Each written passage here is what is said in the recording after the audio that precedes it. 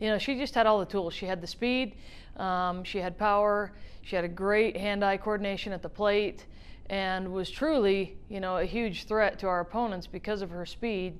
Um, you know, if she didn't hit a home run and, and, they put her on base, she could steal her way to third in about two pitches. So, you know, um, she led the nation in stolen bases and, uh, excuse me, the conference in stolen bases and the same season that she led the nation in home runs. So, you know, she was just kind of a terror. She's a very intense person. Um, she's a very loyal person. She's a very honest person. Um, and she's the most friendly person I've ever met.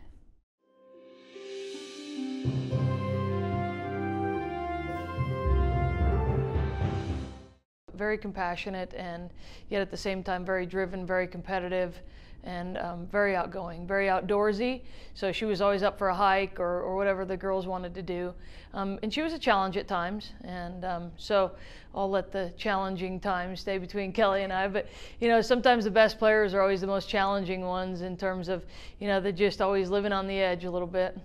Kelly is the best athlete I have ever seen. Like, I mean, hands down. She, um, I mean, it's pretty unheard of that um, somebody has everything in softball. Like Kelly is super fast. Um, she's she's a great hitter. She has a gun for an arm. I mean, she's just the most amazing amazing player I've ever been. So she deserves everything that she gets. She was very typical. You know, she had her moments of feeling like, um, you know, just very normal in terms of she was never arrogant. Um, but she could dial up a home run anytime she needed one and and uh, steal a base. And she was as aggressive of a player, run through the wall, run through the outfield fence of, of any player I've ever coached.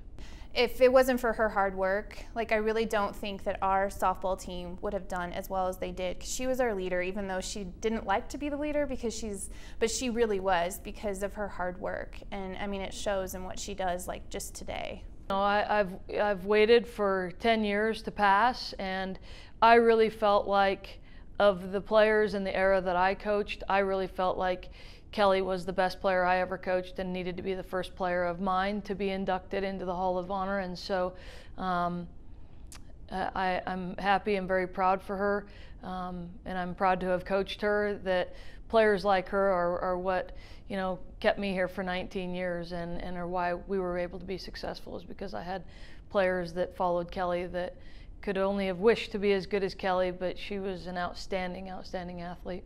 Congratulations, Kelly. It's well deserved. Um, you are the best softball player I've ever played with, and um, just congratulations. Hey, Kelly, congratulations on a great honor. I'm very proud of you and was proud to be your coach. And I know that Mesa State College at the time um, was a great experience for you. And I just think all the memories that we shared together from the Limburger cheese incident in the van that probably had me as mad as any time as a coach has made for great memories and great stories.